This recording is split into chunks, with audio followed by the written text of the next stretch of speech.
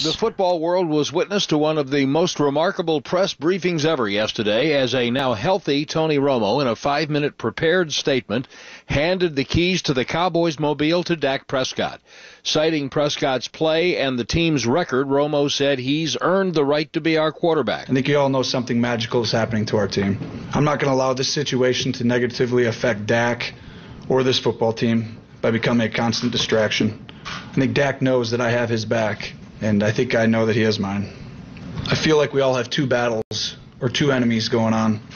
One with the man across from you, the second is with the man inside of you. I think once you control the one inside of you, the one across from you really doesn't matter. Romo showed in his statements what he's all about.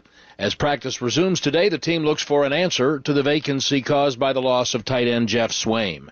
That's today's Cowboys Report. I'm Brad Sham. And you know, I've always liked Tony Romo. I like him a whole lot more now.